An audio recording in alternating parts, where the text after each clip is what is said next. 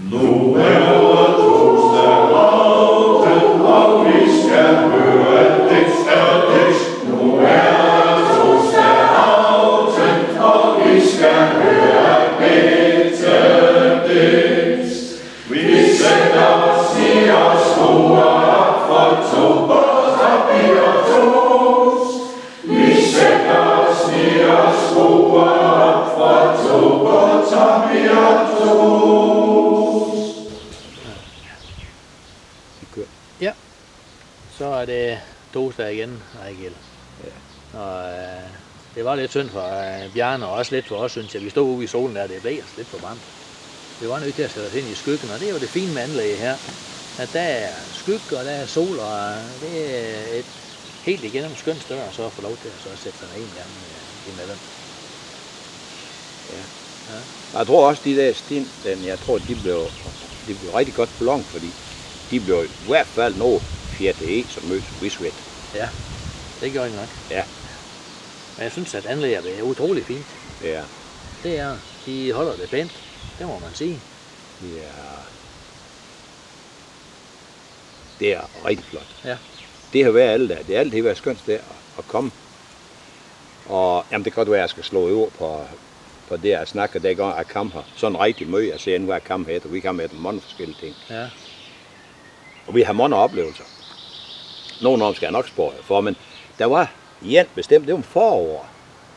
Uh, når det har, det har været rigtig meget sne, så, uh, og det smeltede det her skiværk. Så stod rundt sådan helt op, det var på fri låge, der stod rundt helt op til uh, lågeren i det lav, som man kan se hernede. Ja. Og hvad gjorde vi knejter? Jamen altså, vi tog gummistøvlen på, og så lavede vi ind og tømmerflåde. Så sejlede vi videre hele vejen rundt her. Det kunne være partører, det kunne bare være noget almindeligt. Fantasien, der satte ingen grænse for, hvad vi kunne. Det kan godt Nej. være, jo noget uge, når vi kom hjem, men det var sådan set lige godt. ja så fik den. Det er ikke nogen, der vil tro på, men, men uh, det er jo virkelig tilfælde.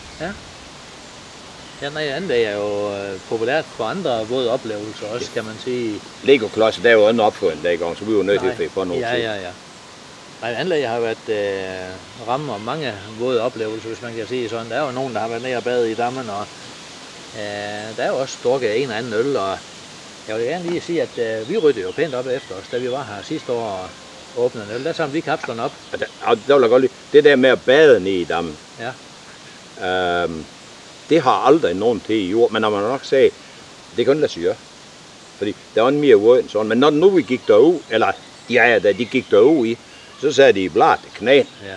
Og hvis der skulle være nogen, der ved, hvad blad det er, Så, kan de bare, så må de slå op i en ordbog. Ja, eller de kan komme ned i anlægget dammen i Yes. yes. år, så stikke fødderne i, så finder de ud af, Ja. Ja. Nej, men jeg tænkte på det her med, at øh, der er jo blevet drukket en anden øl hernede. Åh oh, ja. Vi øh, åbnede jo selv en sidste år og samlede pænt op efter os. Øh, øh, jeg ved ikke, jeg har skrevet en limerick om nogen, der har siddet og var nok så tørstige. De har nok ikke siddet her, men det kan være, at de har været en tur op i en købmands bagbutik, eller på kronen, eller hvad det var. Men øh, de var noget Ja. tørstige i hvert fald. Ja, så er den nogle år i hvert fald. Nej. Så det jo, så det jo, så det jo i sådan noget som i dag. Ja.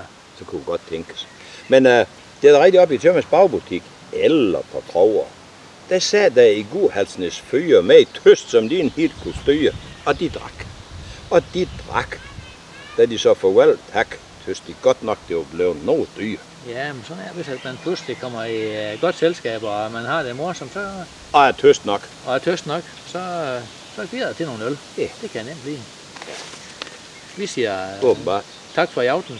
Det var to på Topi og Tos med det her uges torsdagslik. Vi er tilbage igen i næste uge med et nyt Og det var to og vi har ugens torsdagslik, det